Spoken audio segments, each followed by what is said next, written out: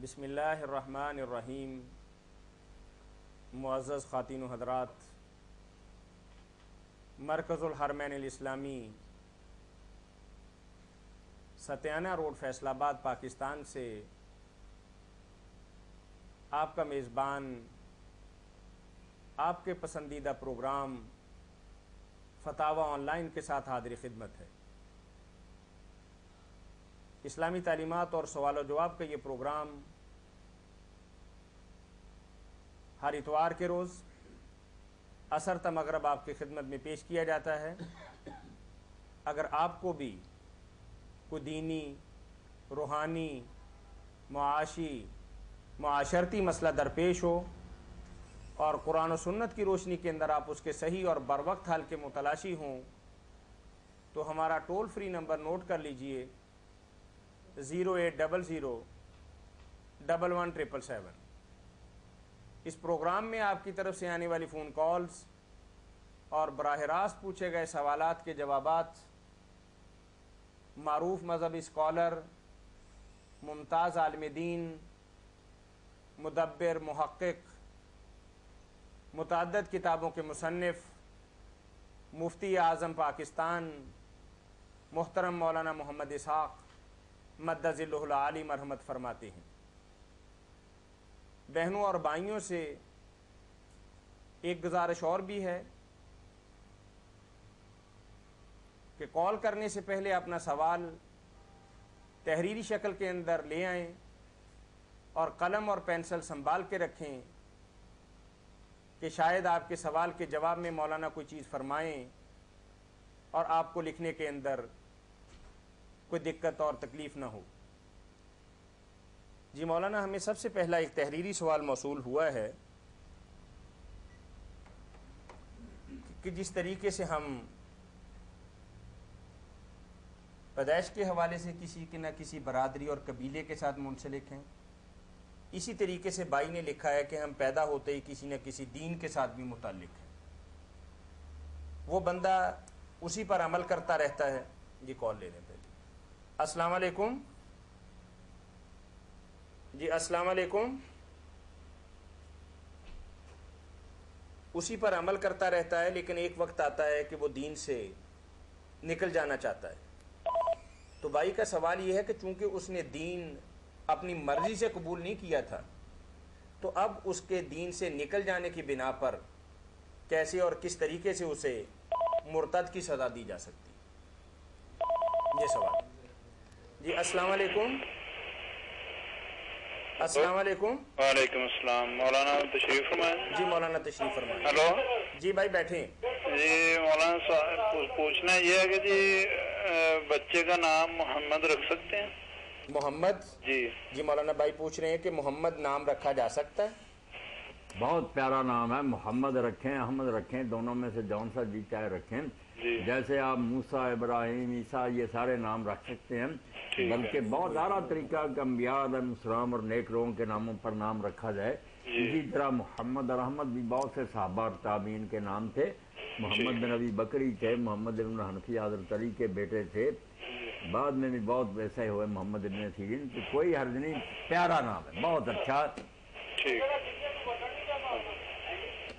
जी भाई कुछ और पूछेंगे? जी मौलाना, सवाल आपकी नज़र था कि बाई चांस या बाई बर्थ कोई बंदा मुसलमान है और उसका दायरा इस्लाम से निकल जाना। इस बारे में जो बात जहन में बिठाने की है, वो ये है कि एक है मज़हब, एक है रियासत। जब दीन मज़हब होता है ना, कि किसी ऐसे इलाके में कोई शख्स पैदा हुआ जहाँ इस्लामी हुकूमत नहीं वो अगर मज़हब से निकल जाए, इस्लाम को छोड़ दे, कोई सजा उसको इर्तदाद की नहीं दे सकता। ना वहाँ इस्लामी हुकूमत है ना उसको कर। और यहाँ से भी अगर वो चला जाए मुसलमान हुकूमत का इलाका छोड़ दे और बाहर जाकर वो मज़हब को छोड़ दे हम कत्ल करने नहीं जाएँगे। मज़हब और चीज़ है कि नज़रिया उसका बदल हाँ ये बात बहुत तवज्जो तलब है होश से सुनना इसको। जी अस्सलाम वालेकुम। वालेकुम सलाम भाई। जी भाई कहाँ से बात कर रहे हैं? मैं डिस्ट्रिक्ट घोटकी से बात कर रहा हूँ। आपका नाम क्या है? जी मेरा नाम ताहिर है जी। हमारे शेख हैं मौलाना मोहम्मद इसाक मद्दजिली वो आपके सवाल का जवाब देंगे। गोटकी। से बात कर रहे हैं आप? हाँ मैं उसके पास। जी पूछिए भाई क्या पूछेंगे? हाँ तो ये मसला है हाँ हाँ। वो उधार पे गंदम जो अभी जो सरकारी रेट है चार सौ पे चल हाँ। रही है। जी, क्या जी। क्या उधार पे पाँच सौ देनी जायज़ है? मैं ठीक है, पाँच छह महीने का वक्त जी मौलाना वो कह रहे हैं कि गंदम आज मैं फरोख्त कर रहा हूँ। क्योंकि आज कीमत है चार सौ रुपये मन। खरीदार ने मुझे पैसे देने हैं दो या चार महीने के बाद तो क्या मैं आने वाले वक्त में चूँकि गंदम ने लामहला महँगा होना है मैं आज ही ये सोच लेता हूँ कि पाँच सौ रुपये मन होगी। तो क्या मैं इस हवाले से पाँच सौ रुपये के हिसाब से उस वक्त अगर पैसे लूँ तो कुछ सूद तो शुमार नहीं होगा? सूद ही शुमार बिल्कुल नाजायज और हराम है। ये काम आप ना करें जो इस वक्त रेट है ना। हाँ, ये नाजायज है ब्याज है। नाजायज है। ब्याज भी कह सकते हैं ना? ब्याज ही कह सकते हैं। ब्याज ये सूद है ब्याज।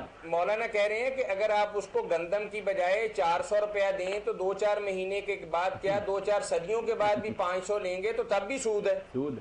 हाँ क्या ये जायज़ है कि अब गंदम इसलिए हम रखें कि तीन चार महीने महँगी हो फिर दें और रकम के रकम माना हाथों हाथ दें क्या ये जायज़ है? हाँ इसमें तो हर्ज नहीं। है नहीं ये जो है ना कि कोई आदमी गंदम जो है उसको रोक ले और ना फरोख्त करे कि महँगी होगी तो बेचेंगे ये भी हराम है ये भी जायज़ ये भी नहीं हराम है। ये भी हराम है एहतिकार है और ये इतना बड़ा जुर्म है कि अगर आपने रोका और बाद में मुफ़्त में भी अल्लाह के लिए दे दी ना गरीबों को तो फिर भी गुनाह माफ़ नहीं होगा। हाँ, आपने है। खुदा को तंग किया और महँगाई होगी। हाँ ऐसा नहीं करना चाहिए। हाँ ये ठीक है कि अगर एक चीज़ बाज़ार में आम मिल रही है जो भी खरीदने जाता कोई ना नहीं करता सबको मिल रही है। इसकी पड़ी रहती है और बाद में महँगी हो जाती है ये कोई बात हाँ, आवाज़ कम आ रहा है सारे लोग रोक लें और बंद कर लें आवाज़ कम आ रहा है। महँगाई पैदा करें। हराम जी। आवाज़ कम आ रही है। हाँ। ये मौलाना मौलाना ये फरमा रहे हैं कि अगर आप ऐसा काम करते हैं बशर्ते कि वो चीज़ आपके अलावा किसी के पास भी नहीं है हाँ। तो फिर तो ये जुर्म अजीम है। लेकिन अगर कुछ लोग ऐसा करते हैं वो चीज़ मार्केट के अंदर आम दस्तयाब भी है हाँ तो फिर कोई हर्ज वाली बात नहीं है। मौलाना यही फरमाया। यही यही फरमाया। हाँ ठीक है ठीक है मेहरबानी। जिसकी नीयत है ना कि महँगाई हो जाए ये तो रिस्क हराज कोई नहीं बुरी बात। मौलाना जिस तरीके से हम लोग यहाँ एक बात जो है ना बयान कर दें ताकि ईमान भी ताज़ा हो लोगों को अल्लाह तौफीक दे मुसलमान ताजर बने। जी पूछ? लें पहले।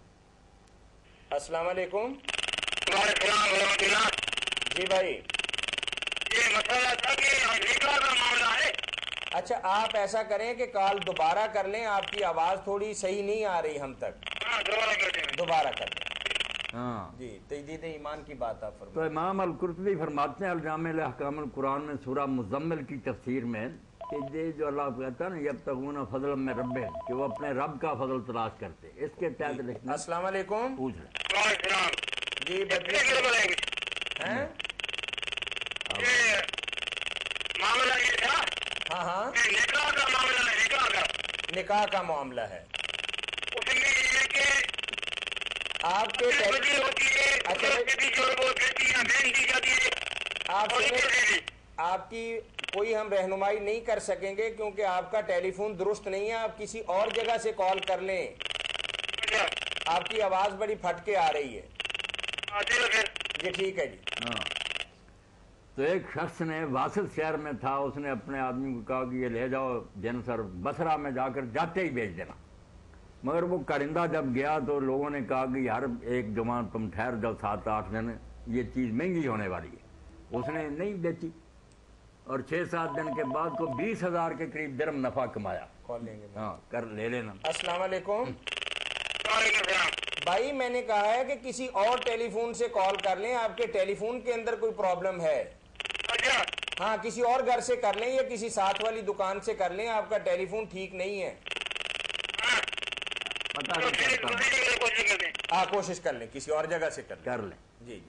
और उसने